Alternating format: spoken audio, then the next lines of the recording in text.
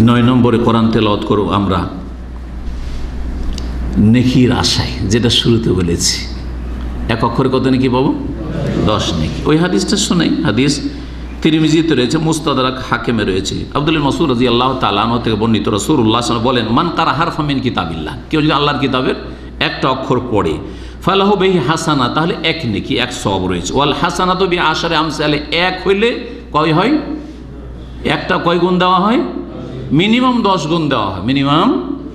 সর্বনিম্ন দশ গুণ দেওয়া হয়। তাহলে এক নেকিকে কমপক্ষে দশ করা হবে। যখন দশ করা হইল, বলছেন যে লাখুলো আলিফলাম মিম হারফ। আমি বলছি না যে আলিফলাম মিম। তাহলে এক অক্ষর হইল, না না। এটা এক শব্দ হয়ে গেল, অক্ষর। হ্যাঁ?